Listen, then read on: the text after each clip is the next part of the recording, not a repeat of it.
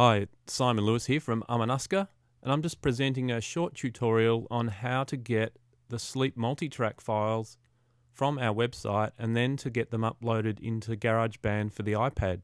So I'm assuming you've got an iPad and it's connected to your computer. So if you haven't done that, do that now. And let's get started. So the first step is to go to amanaska.com, which we're at here. You'll see these photos scrolling past.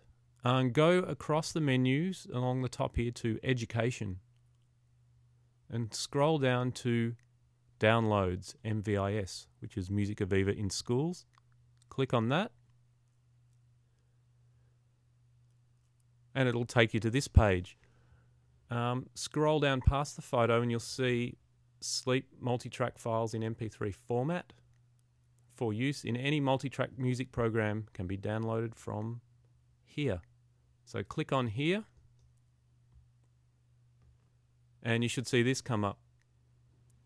So probably the easiest option, just download it and it should appear in your downloads folder or on your desktop or where, wherever you've got that set up.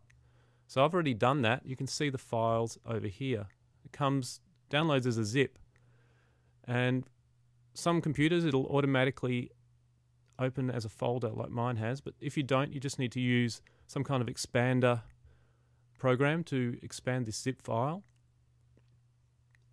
Now open the folder and you should see this Sleep Multis. So these are the files that we want to get into your iPad and so you can use them in GarageBand. So the next step is to open iTunes and I've already got this page open but I'll show you how I got there. If I go back to, if I hit done, this is my main iTunes library. So up here it'll say iPad, it'll have your iPad name, whatever you've called it. Just click on that and this will open and you'll see these tabs along the top here. So you want to be, there's info, apps, you want to be in apps. So click on apps, wait for it to load. And you'll see this. Now from here, you need to scroll down just below all this stuff. So let's just scroll down to file sharing. Now here are all your apps that have file sharing capabilities. So we're going to choose GarageBand. Now you can see in here, I've already got quite a few files in my GarageBand. You may, you may not. But from here, it's so easy. All you do is go to the folder that you just downloaded. You can select all these. You can do the full backing tracks if you want, but for now, let's just do these multis. Drag them, you'll see it goes blue.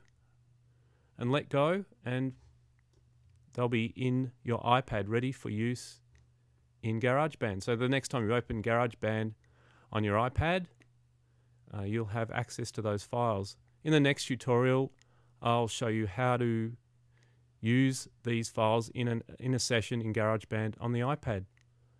So come back and enjoy enjoy these multi-tracks and have some fun with them.